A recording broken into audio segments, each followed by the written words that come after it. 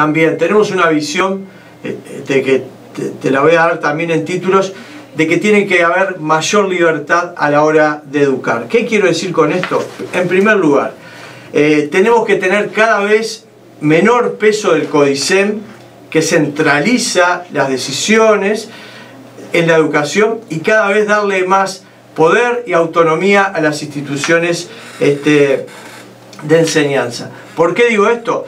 Porque no es lo mismo gestionar y llevar adelante un plan educativo en un barrio de la costa de Montevideo, en un barrio de un nivel socioeconómico medio, medio alto, que llevar adelante un plan educativo en un barrio deprimido o con dificultades socioeconómicas o en un lugar este, en condiciones similares en el interior del país. Entonces, nosotros creemos que hay que darle autonomía a los centros educativos para que la comunidad educativa que está integrada por director, por, obviamente, por la comunidad de docentes, y también los padres que cada vez tienen que tener mayor participación y que ellos puedan elaborar, obviamente dentro del marco de la Constitución, de lo que dice la ley y el Ministerio de Educación y Cultura, pero puedan elaborar su propio plan en función de eh, cuál es la realidad de los chiquilines, de esas familias que viven en esa zona que se está, donde está inserta esa institución.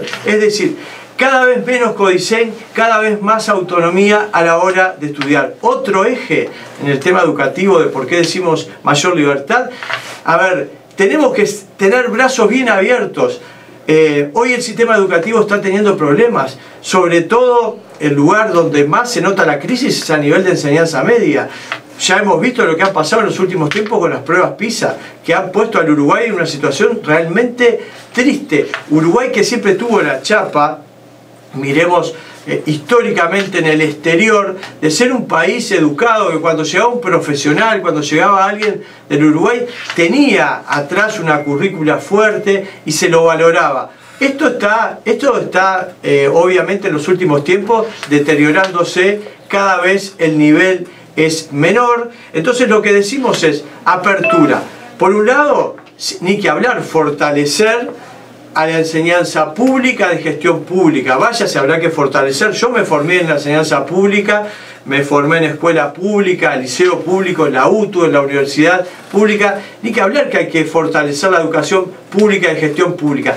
Pero estar abierto a otras experiencias que están habiendo, como por ejemplo ahora educación pública de gestión privada, están habiendo excelentes resultados, Liceo Jubilar, Providencia, hay varios que están teniendo excelentes resultados y además en zonas eh, con dificultades socioeconómicas.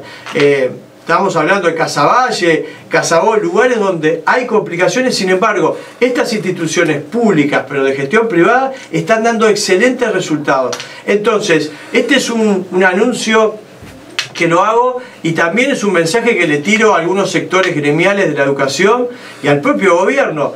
No miremos con preconcepto y desconfianza algunas de estas instituciones porque algunas de ellas pueden tener detrás alguna institución religiosa. Por favor, muchachos, si está dando buen resultado, los mismos chiquilines, también gratuitamente, están recibiendo una educación de calidad, están saliendo, están teniendo resultados, están terminando la educación media y se están insertando en el mundo en la sociedad y en el mundo laboral.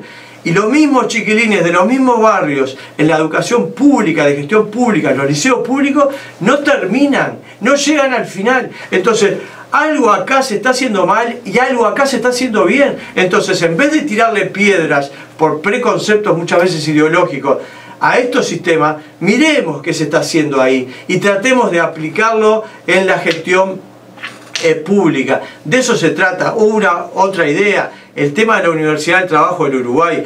La UTU eh, cada vez más se convierte año tras año en el único lugar donde se hacen colas, al menos pasa en Montevideo, colas el día previo seguro, de noche, los padres tratando de ver si consiguen algún cupo para sus hijos, porque se dan cuenta que la Universidad del Trabajo es una buena herramienta de formación de los chiquilines, pero además lo forman en, en un trabajo, en un oficio que les permite rápidamente insertarse en el mercado laboral. Bueno, resulta que la UTU, que está dando posibilidades reales, donde no hay deserción, tiene cupos limitados y todos los años quedan una cantidad de chiquilines afuera, no pueden entrar y tienen que esperar un año más. Y vaya a saber qué pasa en ese año, ¿no? Si alguno de esos chiquilines no se termina perdiendo porque tuvo este, una puerta cerrada al auto.